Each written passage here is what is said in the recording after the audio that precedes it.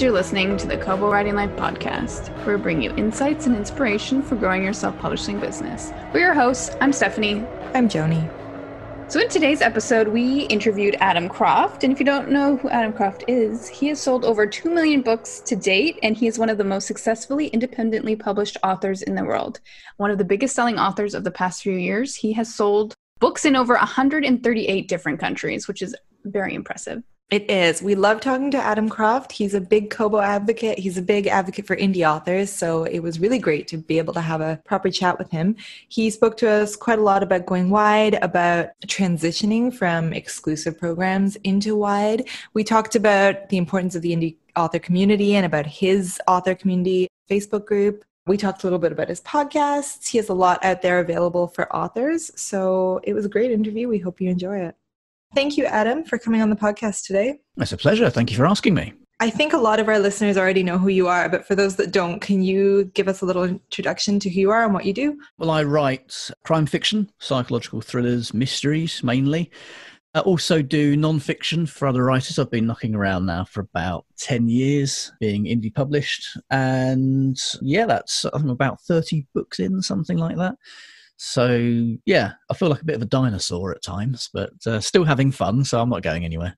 In the last, is it year or two years maybe, you've created a really strong author community with the indie author mindset. When did you start that? Summer of 2018. So yeah, coming up for two years.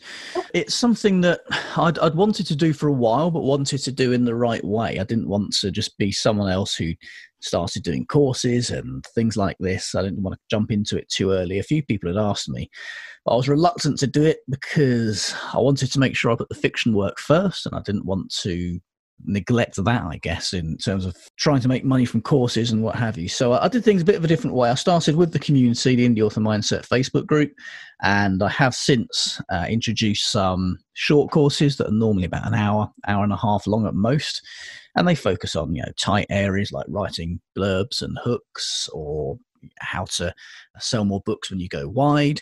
So you know rather than kind of big multi-hour hundreds of dollar courses i've tried to keep it a bit more bite-sized and a bit more accessible i guess because i'm i'm known for being fairly blunt and to the point about things so i think it, it probably fits that brand quite well there was something that you said recently, I think it was in the Facebook group, that really resonated with me and I wanted to ask you about. I think it was something like competition in this industry doesn't exist.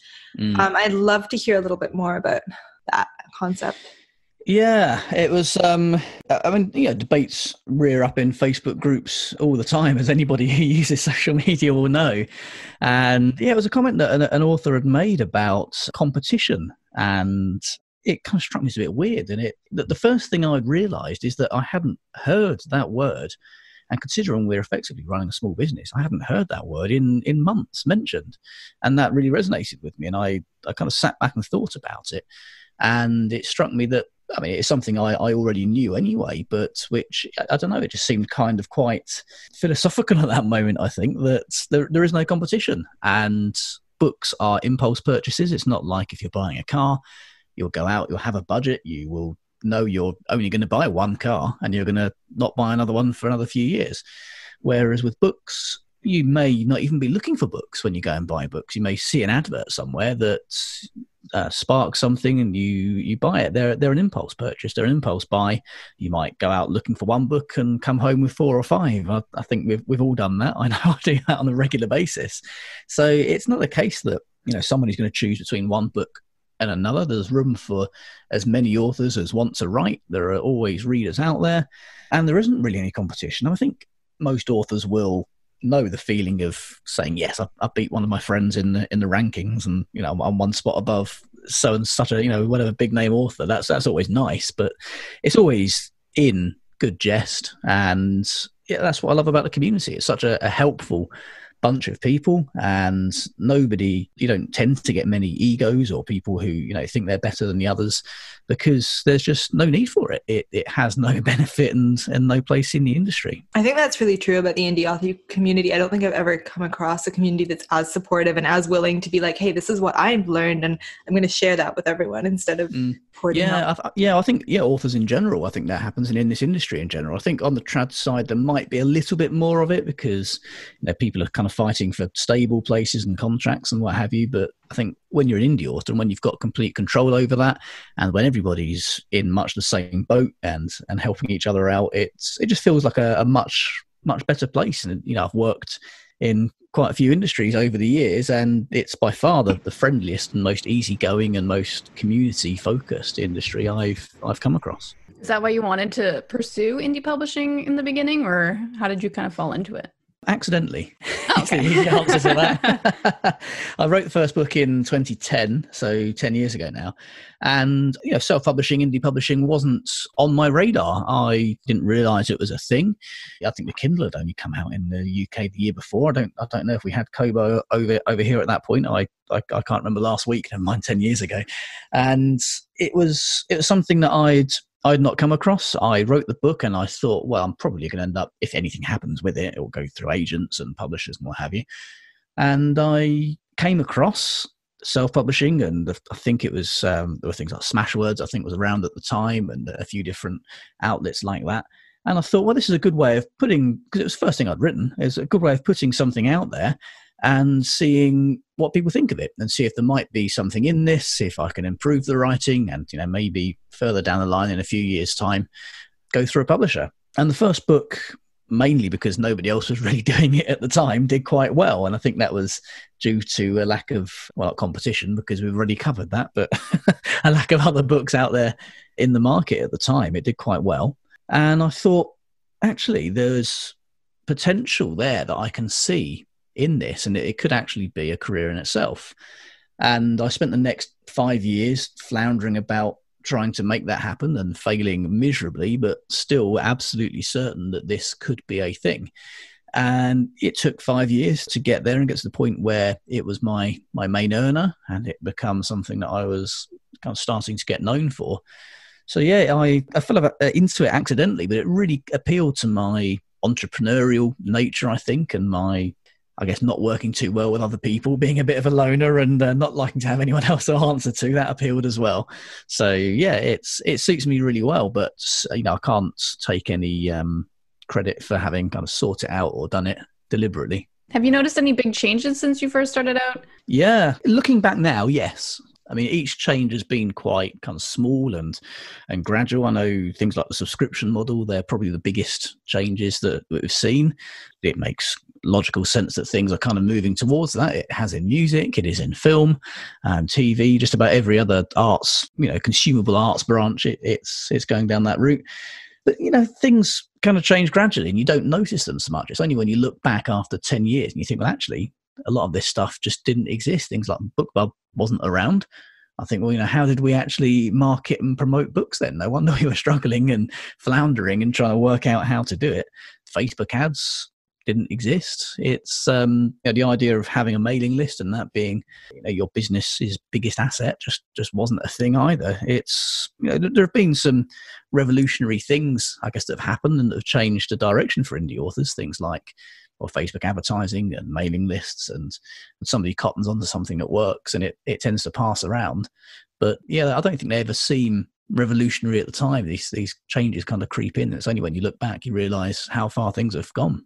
How do you find the indie author community in the UK? It's something I always wonder about because I feel like a lot of conferences and a lot of the focus in the Facebook groups is quite North America centric.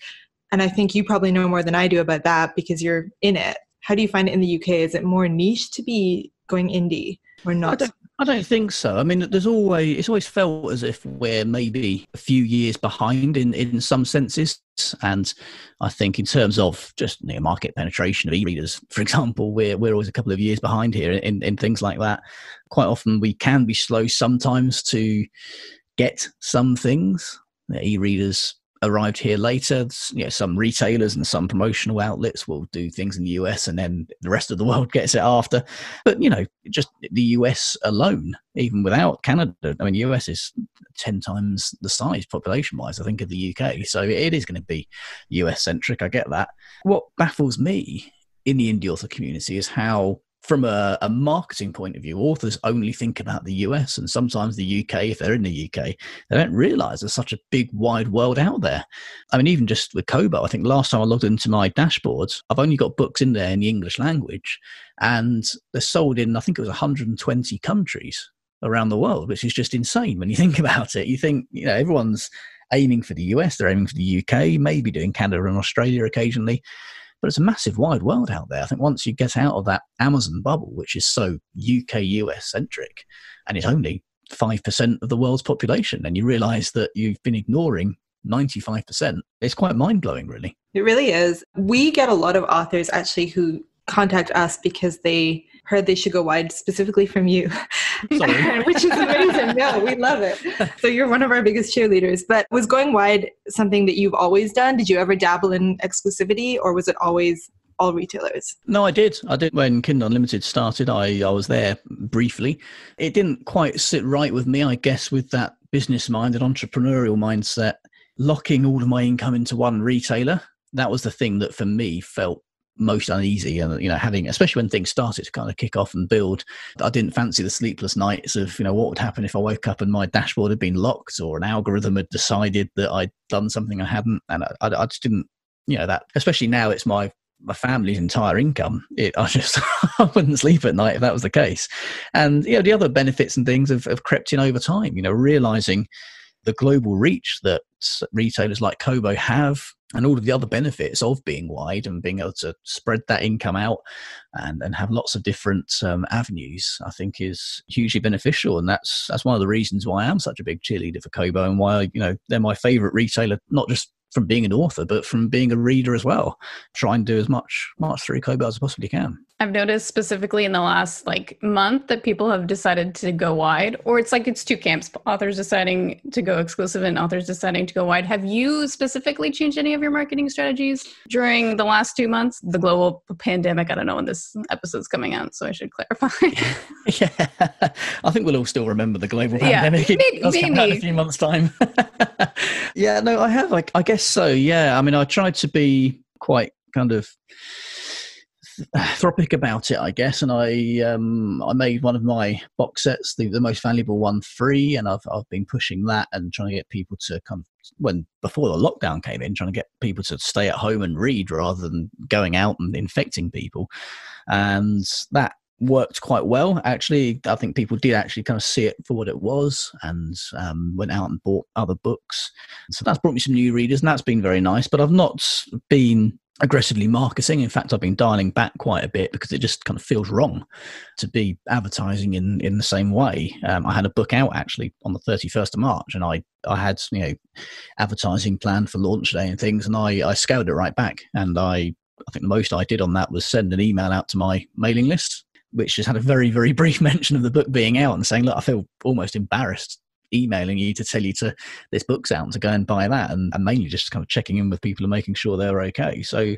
it has changed the approach but it's made me dial it back and i think that has kind of worked in a way. I think readers do appreciate that as well. So yeah it's you know it's, it's one of those situations where there are there are bigger things than books and there are bigger things than money and you know you just you adapt and uh, and work with what you've got Absolutely. I think that's an interesting balance with booksellers because nobody wants to be seen to be capitalizing on this because it's awful. But at the same time, it actually is something that helps people to stay at home and helps keep them entertained and mm-hmm.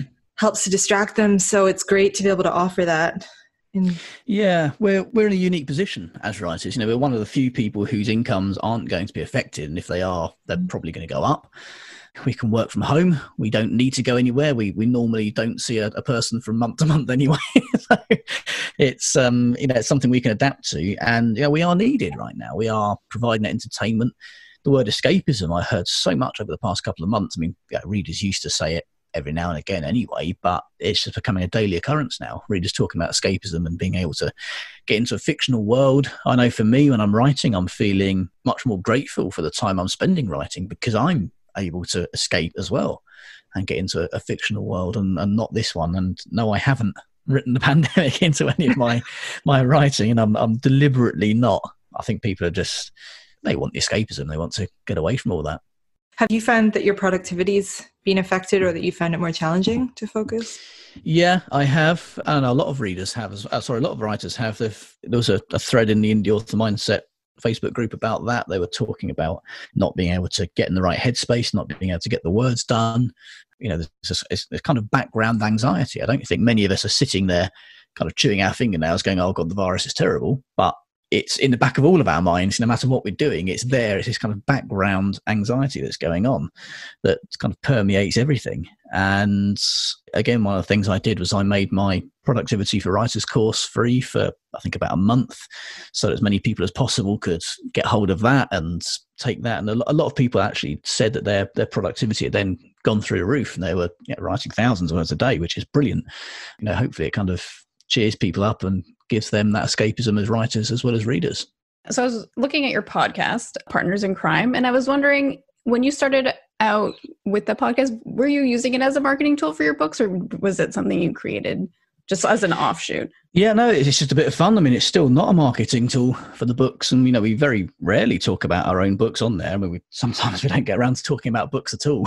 we just end up talking about coffee and gardening and things like that. But that came about for a, a, fellow crime writer, Robert Daws, who lives about half a mile away from me. He's also a, a fairly well known TV actor over here in the UK as well. You know, we used to meet up and talk about books and, you know, what we've been seeing and watching over a, a coffee or a beer. And I think it was about four years ago, I had a book out and we decided we would film us having a chat and it would be used as part of the launch day thing and we'd upload it to the Facebook group and that went down really well. And the podcast idea just kind of germinated from that. Really, it's just us sitting there as two crime writers talking. Ideally, about what we've been reading, what we've been watching, things we can recommend, crime fiction stuff that's been in the news.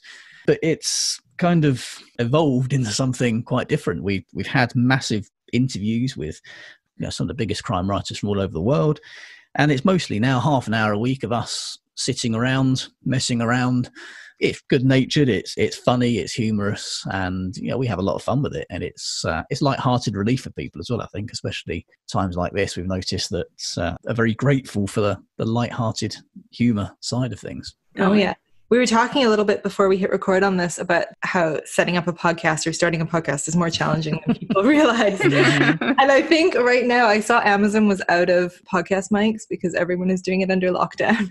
Do you have any advice or tips to anyone who is thinking about it? Well, I think in general, content is king, as as it is with most things like this. And you know, you can just record using your phone and using the phone's mic. It's good if you can have the, the right studio equipment. I would say, yeah, definitely be prepared for it being far more work than you realize on all fronts, even just the, the technical side of recording, the technicalities of that, the editing, the mastering, the, the hosting. Things cost as well, and trying to find an audience and build it. And you know what? Even if you're doing a podcast once a week or once a fortnight, that time comes around really, really quickly, and it can often feel like a, a full-time job. Yeah, it, it, can feel like a full-time job doing it. And I'm I do two podcasts, so it does take up a lot of time. I've got Partners in Crime, and I've got the Indie Author Mindset podcast as well. That's much shorter. That's kind of 15 minutes a week, and it's only me, so I don't have to worry about getting other people sorted and in the right place at the right time. So that that's that's simpler but yeah, it's good fun. I enjoy it. I've got um, a bit of a broadcasting background as well, and it, it's a nice change from just kind of sitting there writing and uh, and and staring at the walls to actually talk to other people and you know help perhaps inspire or influence and and what have you. It's it's all good fun. I've noticed a lot of authors in recent years have started their own podcasts, and I mm-hmm. think it's kind of a cool way to reach readers and something maybe not as like a Facebook group. It's something different. And I don't know. I've noticed mm. it more and I've been more interested. And I'm just wondering, do you think like podcasts could be right for everyone? Because I, I feel like they could be. It just depends on what you're talking about.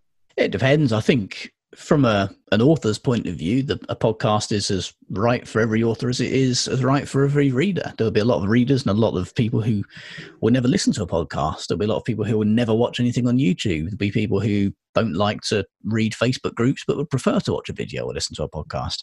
And I think if you can maybe cover as ba- as many bases as possible, then that's a good thing. But you don't want to spread yourself too thinly either. It's a tricky thing. I, I think things are moving that way things are moving that way, and I, I don't think it's vital that people have have podcasts, but um, they're certainly a lot of fun. and they're definitely a lot more work than people realize. as I know you guys uh, certainly appreciate. I think there are a lot of parallels with indie publishing as well. It's basically, mm-hmm. yeah, it's the indie publishing of the radio. And I yeah. think that in the last few years, there's been some really, really interesting podcasts coming out independently that probably wouldn't have been green, greenlit by a radio show or the BBC or whatever the equivalent is. And yeah, I think yeah. about that a lot with indie publishing. Yeah, people ask me what podcasts are, and the best way I can describe it is that podcasts are to radio what YouTube is to TV. Mm. It's that kind of independently yeah. produced, pre-produced rather than live. Even though you can do live podcasting, you can do live YouTube. Yeah, it's it's just a modern take on it, and it is. Yeah, you're right. And I've never really looked at it that way. It is what indie publishing is to to to writing. I guess it's and maybe that's why it appeals. Maybe that's why I enjoy doing it. Mm-hmm. I was going to ask what you see in the next 10 or 15 years of publishing, if you have any prediction. Oh, that's tricky. I don't want to nail my colours to the mast now. Um, I think things hopefully will widen up. I think when you talked about a lot of authors going wide, I think that's that's certainly something I'm seeing is a big, big direction of travel in in that direction. I think that was something I had seen coming because over the past year or two, you know, should I go exclusive or wide has always been there ever since KU was introduced. And it's always been kind of 50 50. But I've noticed over the last year or so that it's mainly people who are exclusive who are kind of asking about going wide and wondering about, you know, how do I do this? What's, you know, should I do it? Should I not? I very, very rarely see an author who is wide saying I'm thinking about going back into KU. There's there's not I mean there are some obviously, but not that many. And yeah, there, there is certainly a, a direction of travel that I'm seeing on that front. I think audio books are definitely growing. They, they've grown hugely over the last year. And I know that been certain industry commentators have said, you know, every December there's always the, you know, you get asked what do you see happening next year, and every year people go it's audiobooks it's audiobooks. They've been saying that for about 10 years. Last year they were actually right. And audiobooks have um, have been growing massively. And yeah more for me for for not believing them sooner as well because i've been catching up on that one but i've definitely seen huge growth over the last year or two in audio. So i don't think there are many huge changes to come. I think maybe if anything we might end up moving more towards subscription models but i think they need to change I think you know the exclusivity clause in the ones that exist, or the main one that exists, is restrictive, and that is kind of stopping things moving that way. But I wouldn't be surprised if if things moved towards a, a sort of non-exclusive subscription model at some point over the next five years or so. But that needs needs major movement from one particular party. what a great prediction that may come true. I hope so because you know I think I think the model is a great idea. Yeah, but I'm I'm not going to tie myself into one retailer, and I wouldn't suggest that anybody does. So I think once that's dropped, you know, I'll, I'll be the first one to um to make sure that you know I'm I'm I'm involved. But mm-hmm. yeah, I don't I don't think exclusivity is, um, is, is a good thing. I don't think you know creating monopolies is a good thing either. Absolutely. One thing I would like to ask is it is a reality that authors who have built their business in Kindle Unlimited, if they move to go wide, they're going to see a drop in sales. Mm-hmm. I think. What would you advise people when they go wide? Well, my outlook on publishing is always that you should be looking at the long term. And mm-hmm. I'd far rather give up a dollar today to make 10 in a year.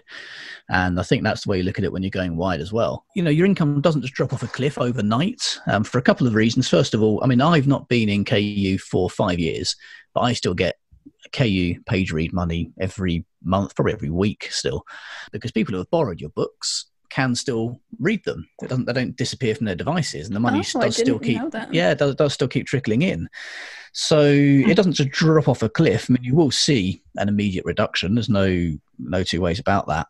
But the interesting thing as well is we've got this kind of obsession as authors and as people in the industry of boxing readers into certain compartments. You know, we think maybe there are, you know, you're a thriller reader or a sci-fi reader. I mean, of course, loads of people read both. Yeah. You know, none of us read just one genre or one really tight type of book. And I think the same happens with devices that people read on. I read on a couple of different devices, and I survey my readers on my mailing list every year. I think something like 70, 75% of them have got a KU subscription, but none of my books are in KU but they're all still buying my books mm-hmm. because you know they're on my mailing list and there's no other way to buy them other than buying them rather than through a subscription program. So I think a lot of people who do have subscriptions, they don't just read KU books. If they like your books, they're going to be willing to pay for them as well.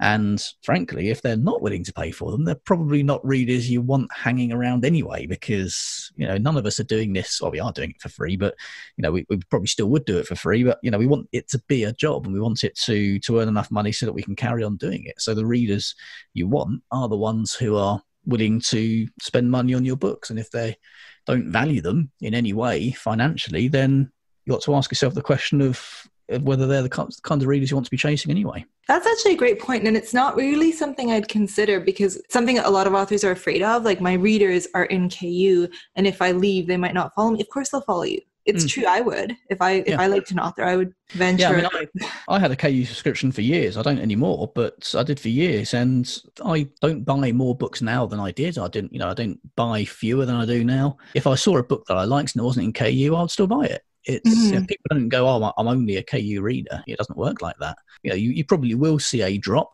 because some people are on tight incomes and they they will only get books through KU, but majority, I would say, will probably still buy them. And of course, you've got a big wide world out there. You've got the 95% of the world where KU isn't even a thing that you can chase through you know, retailers like Kobo. Which country are you selling English language titles in? It's the most unexpected. Oh, most unexpected. And that's a good question. I mean, I've I was amazed. I didn't actually look in too closely at what the 120 countries were. I was just really, I guess, stunned that there were 120 of them. But there are even countries that aren't English speaking. And I'm looking at it now. I mean, the eighth on the list is the Netherlands. That's mm, the yeah. and that's the highest speaking, highest selling non-English language. You know, there are books I'm looking here sold in Russia, Tanzania, Zambia, Colombia, French Guyana, hmm. Philippines, Algeria, Turkey, Georgia, Azerbaijan. I've sold three in apparently. So they're all surprising. And when I look at it everywhere, yeah, when I, when I think about it, I think 10 years ago, I just wanted somebody I didn't know to pick up one of my books and let me know what they thought. And yeah, I'm now 10 years on. I've got some strange super fan in Azerbaijan, it seems. Amazing. Are your books in Kobo Plus? Yep. I, I think they all are. They should all be. I've uh, not checked, but I do try and make sure they are. Yeah. So we talk a lot about advice for new authors, but I was wondering if you had any advice for established authors who have been publishing for 10 years and it may be the exclusive non-exclusive thing, but do you have any advice for them?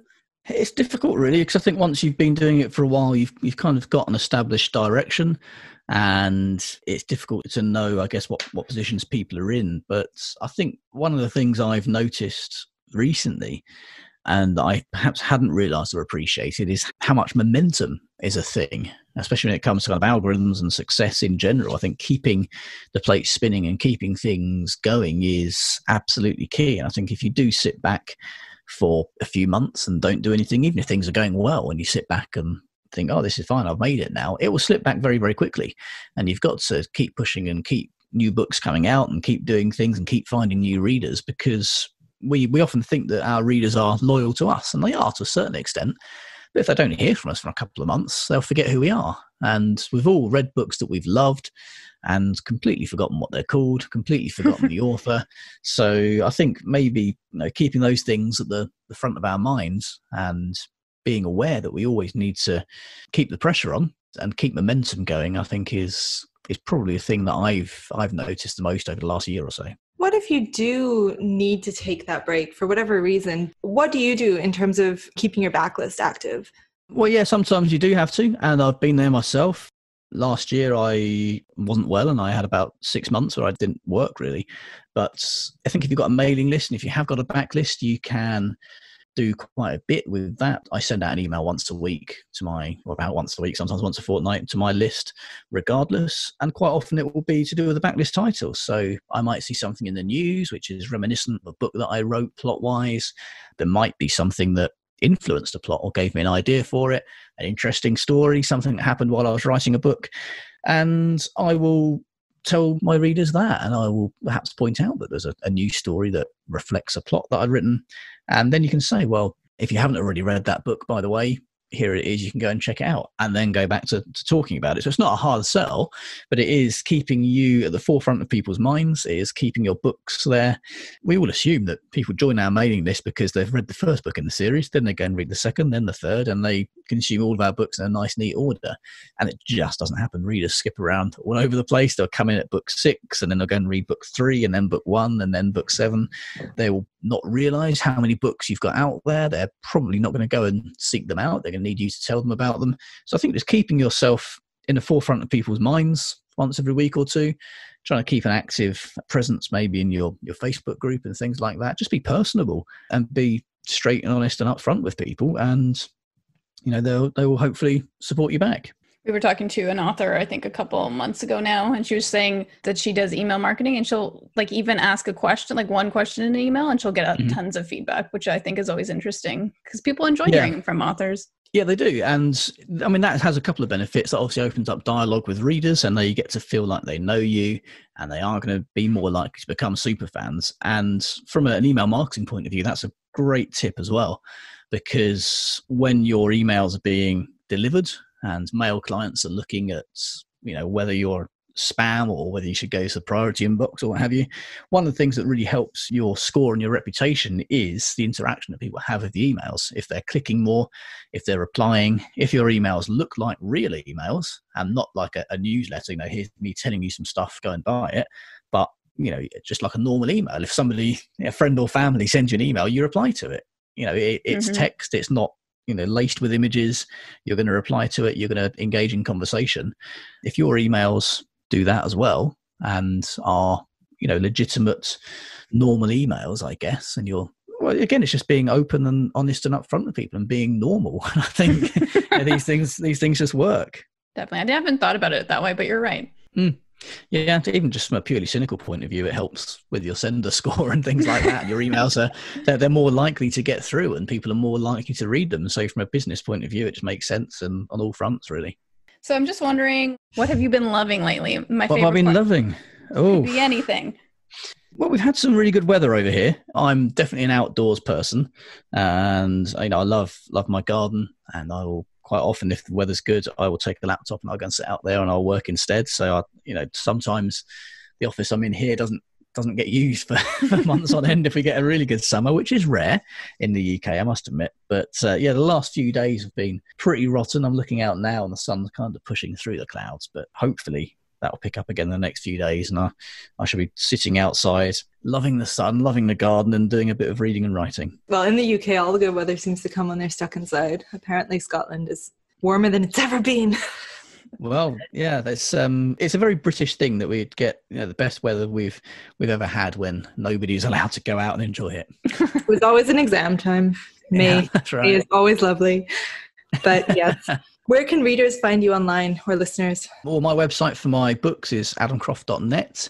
The indieauthormindset.com as well is for all of the indie author mindset stuff. There's the indie author mindset Facebook group and podcast as well. Hopefully, you can uh, pick up some tips there and sell more books. Excellent. And can you remind us? So you talked about the productivity course. What other courses mm-hmm. are you offering with the Indie Author Mindset? Oh, I've got um, some more books wide, which helps people who you know are, going wide thinking of going wide and, and, want to learn the different strategies and different outlook that's required for for selling books wide as opposed to just with amazon writing killer blurbs and hooks because that's something i've, I've had a lot of success with things like last tomorrow could you murder your wife to save your daughter it's all about how to kind of write those kind of hooks and blurbs that will hook readers in. I've got one for formatting books with vellum and getting you know really good looking books which which readers like. Yeah, there's there's quite a few there now, and I'm I'm adding new ones all the time. So yeah, that list will, will probably have changed again by the time listeners hear this. Excellent. Well, we'll share the link and then they can find them all. Excellent. Thank you. Well, thank you so much for coming on today and taking the time to talk to us. This was really good. Thank you for having me. Thank you for listening to the Kobo Writing Life podcast. If you're looking for Adam's books, we will have linked to them on our blog. Or if you're interested in learning how to grow your sales, visit kobowritinglife.com. This episode was produced by Joni DiPlacido and Stephanie McGrath. Editing is by Kelly Robotham. Music is provided by Tearjerker. And big thanks to Adam for being a guest today. If you're ready to start your self-publishing journey today, sign up for free at kobo.com slash writing life. Until next time, happy writing!